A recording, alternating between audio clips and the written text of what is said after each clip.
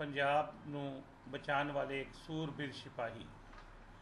ਜਿਨ੍ਹਾਂ ਨੇ ਆਪਣੀ ਜਾਨ ਦੀ ਪਰਵਾਹ ਨਾ ਕਰਦੇ ਹੋਏ ਪੰਜਾਬ ਦੇ ਲੋਕਾਂ ਨੂੰ ਦੇਸ਼ ਵਿਰੋਧੀ ਤਾਕਤਾਂ, ਵਿਦੇਸ਼ੀ ਤਾਕਤਾਂ ਜਿਹੜੀਆਂ ਪੰਜਾਬ ਦੀ ਅੰਦਰ ਮਾਰੀ ਨਿਗਾਹ ਲਗਾ ਕੇ ਬੈਠੀਆਂ ਹੋਈਆਂ ਸਨ ਔਰ ਪੰਜਾਬ ਦੇ ਅੰਦਰ ਪਤਾ ਨਹੀਂ ਸੀ ਲੱਗਦਾ ਰਾਤ ਨੂੰ ਕੌਣ ਮਰੇਗਾ, ਦਿਨੇ ਕਿਹਦੀ ਵਾਰੀ ਹੈ, ਦੁਪਹਿਰ ਨੂੰ ਕਿਹਦੀ ਵਾਰੀ ਹੈ।